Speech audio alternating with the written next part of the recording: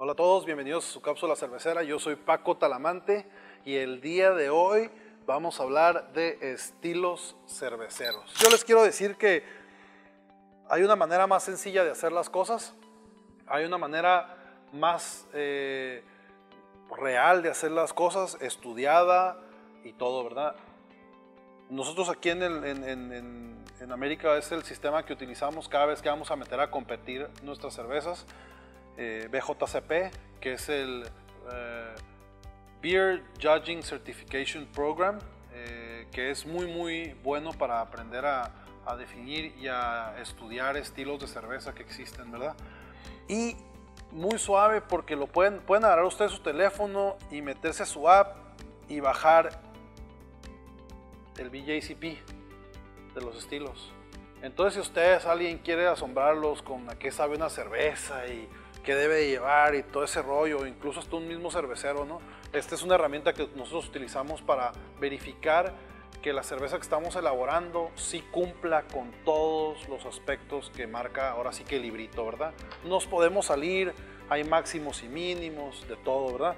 Pero sí nos funciona para esa situación, ¿no? De, de, cuando te preguntan, ¿y tú qué sabes? ¿O tú cómo sabes? ¿O tú por qué estás diciendo que eso sucede? Pues muy sencillo, ¿verdad? Pues yo me metí aquí al, al, BJCP, me metí, no sé, a American Lager para ver qué es un American Lager y aquí me dice aroma, apariencia, sabor, cómo se siente en la boca, eh, impresión general, comentarios, historia, ingredientes con los que se elabora.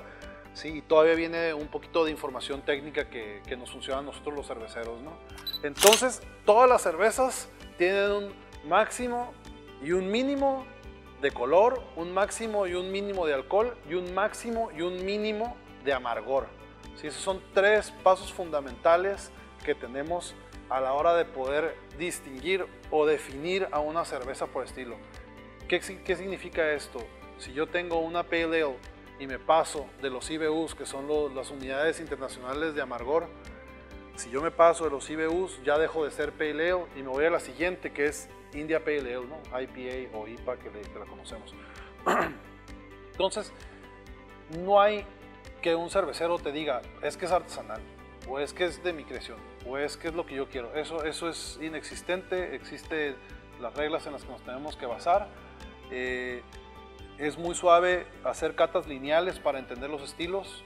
Eh, yo, por ejemplo, cuando empecé a hacer cerveza me metía al, al, BJCP, leía un estilo y de ahí determinaba si lo quería hacer o no lo quería hacer, ¿no? si, lo quería, si quería reproducir una cheve similar a esa o no.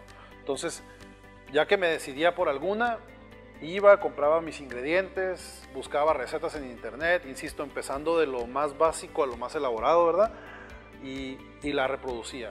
Cuando la terminaba de hacer, eh, lo mejor que se puede hacer es, insisto, una cata lineal. ¿Qué significa esto? Uno pone su cerveza y compra dos, tres, hasta seis cervezas del mismo estilo que tu cerveza de marcas que estén en el mercado.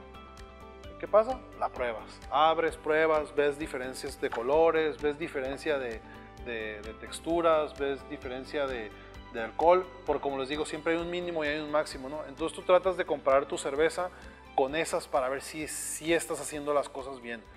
Es un muy buen comparador.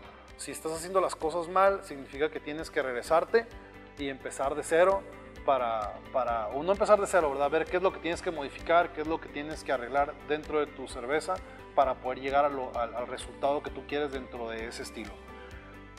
Ahora, vamos a empezar en las siguientes cápsulas a traer cervezas para que ustedes, para poder hacer catas lineales y chiquitas, a lo mejor de tres cervezas por estilo, muy generalizados, ¿verdad? Nos vamos a ir a los estilos más comunes porque como les dije, son 34 estilos de cervezas más subestilos, entonces sería prácticamente, eh, nos tomaría tres años yo creo poder describir cada una de las cervezas, pero esto es un tip muy muy importante, descárguenlo, es gratis, BJCP, así lo buscan en su, en su App Store o en, o en, la otra de, de, ¿cómo se llama?, de Android, y este, la descargan, insisto, es gratis, pueden leer, eh, y se van a dar, se van a poder imaginar cómo se siente en la boca, todo es, es muy muy suave meterte en ese lado del, del, mundo cervecero sin la necesidad de ser snob, sin la necesidad de sentirte que no hay ninguna cerveza que te merece, al contrario, ¿no? Tienes que, entender que, que, hay mínimos y máximos dentro de los estilos y el hecho que una cerveza eh, no te guste a ti no significa que esté mala. Mientras no exista contaminación, mientras no exista algún error garrafal dentro de la cerveza, no, no, no está mala, no es una cerveza buena. Muchas gracias señores, yo soy Paco Taramante y esta fue su cápsula cervecera.